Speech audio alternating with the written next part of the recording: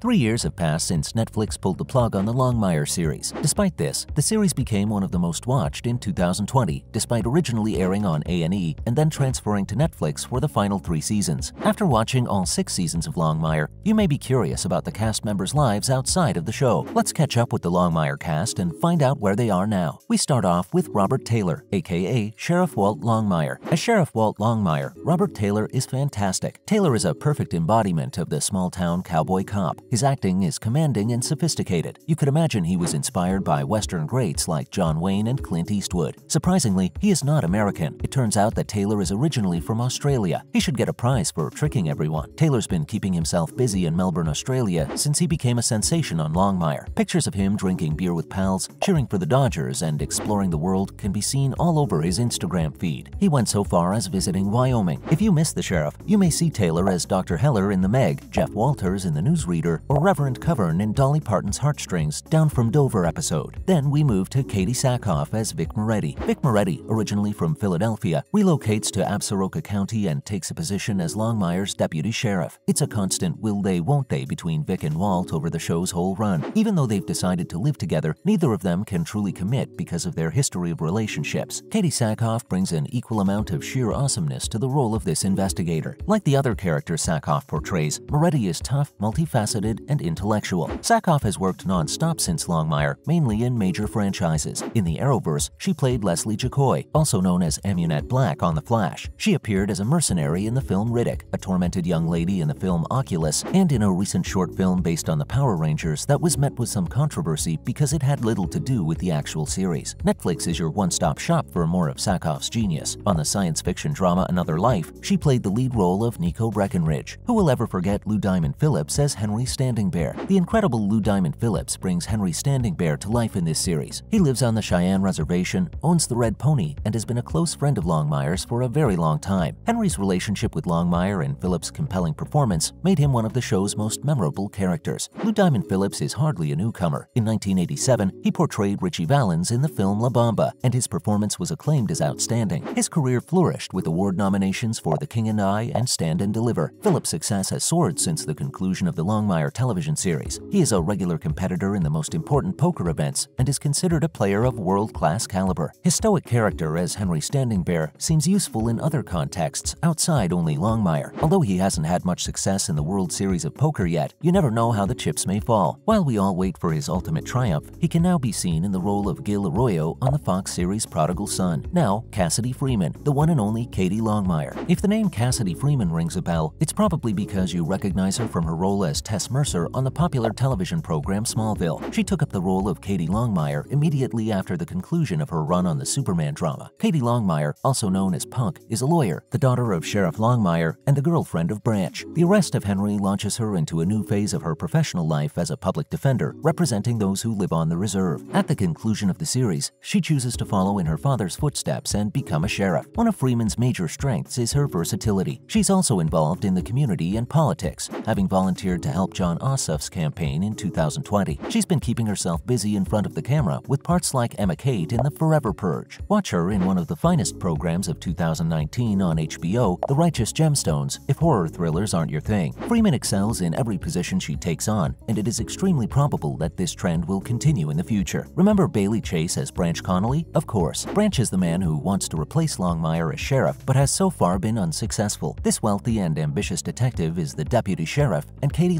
Longmire's on-again, off-again lover. Sadly, his time on the program is cut short when his father murders him after he is fired from the police. Chase, like his Longmire character, attended Duke on a football scholarship. Thankfully, he pursued a career in acting and has been going strong for years. Since his time on the show as the disgraced deputy, he has starred in 24 Legacy, Twin Peaks, and SWAT. So far, he has enjoyed a long and fruitful career without showing any indications of slowing down. For die-hard Longmire fans, nothing beats keeping up with Chase's regular Instagram posts. Images of his cute family, pets, vacations, and interests fill the book. Oh, Officer Mathias. Actor Zahn McClarnon portrays Officer Mathias. As a member of the tribal police force on the Cheyenne Reservation, his ambivalence often causes him to be an obstacle for Longmire. The viewers are never quite sure if Officer Mathias has good intentions or not because he is so mysterious. McClarnon's performance is extremely subtle and dynamic because of the inherent ambiguity. McClarnon, who is of Lakota origin, is one of the few Native American actors now active in the industry. McClarnon has played a variety of fascinating fascinating characters during his career. In addition to his role as Akecheta on Westworld and William Lopez on Marvel's Hawkeye, he portrayed Hanzee Dent on Fargo Season 2 opposite Kirsten Dunst. His other acting credits include Reservation Dogs, where he plays Big. Also, Martinez does a fantastic job as business opportunist Jacob Nighthorse, who might just be Longmire's most hated character. In the first episodes, he is portrayed as a selfish jerk who exploits the residents of the Cheyenne tribe. But there's more to Nighthorse than meets the eye, just like there is with all the complex characters on this show. He begs Cady in season 4 to assist him in keeping his company afloat. Longmire's standout performance comes from Martinez, who manages to be both beyond despicable and incredibly entertaining. Though he started out as a film actor, the former semi-pro baseball player is most recognized for his work on soap operas. After his time on Longmire ended, he returned to his soap opera roots by playing Eduardo Eddie Hernandez on NBC's Days of Our Lives. All of the daytime Emmy should go to him if his work on Longmire is any indication of what he contributes to Days of Our Lives. Then, it's Adam Bartley as the Deputy Archie the Ferg Ferguson. Deputy Archie the Ferg Ferguson, Adam Bartley, is absolutely charming. The Ferg may appear like a clumsy addition to the squad, but he's really rather valuable. Their friendship is full of affection and respect for one another. One of the most emotionally wrenching lines in the series comes when Ferguson tries to resign. I know I was a favor. I only got hired because you were helping out my dad. Longmire rejects Ferguson's resignation because he still sees promise in him, demonstrating their deep friendship. The show just wouldn't be the same without the Ferg, so thank goodness for that.